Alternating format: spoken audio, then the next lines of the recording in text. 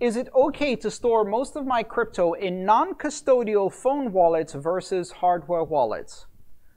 It's okay, but it's not safe.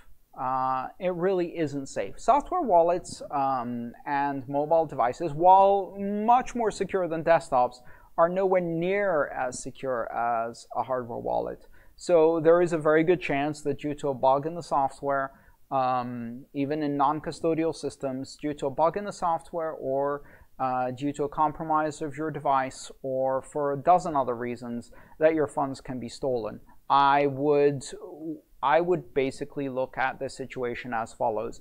Once I have enough crypto where I would literally cry if it was stolen from me, then it is worth spending $35 to get a hardware wallet, or even $100, or even $150 to get a hardware wallet to protect that crypto.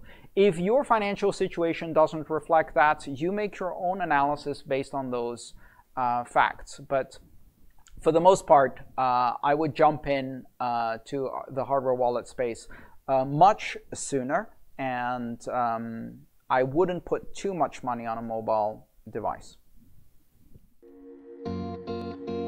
If you enjoyed this video, please subscribe, like, and share. All my work is shared for free, so if you want to support it, join me on Patreon.